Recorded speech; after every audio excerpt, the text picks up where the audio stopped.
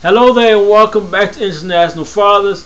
I'm your host and your creator, Nelson L. Moody Sr. The ABCs of Fatherhood. This is a very interesting one too. This is one that I really want people to understand and see who do not believe, acknowledge, or understand that being a father is the letter N, normal. Fatherhood is normal. I don't care what you see, what you don't see, or what you hear. The propaganda out there that seem to just grab us fathers and put us in this category here. Fatherhood is normal, just like breathing, just like walking, just like sleeping, just like talking, without even giving any thought to it.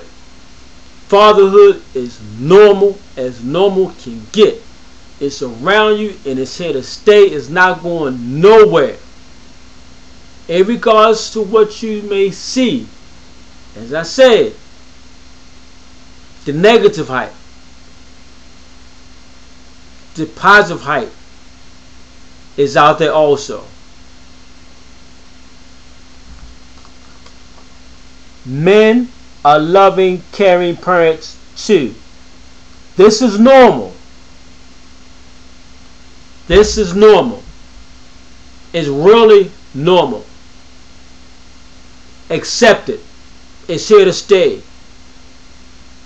Internationally, universally, globally, and in the solar system. If you want to go that far. Fatherhood is normal. Fathers, call your children. Because what? It's normal.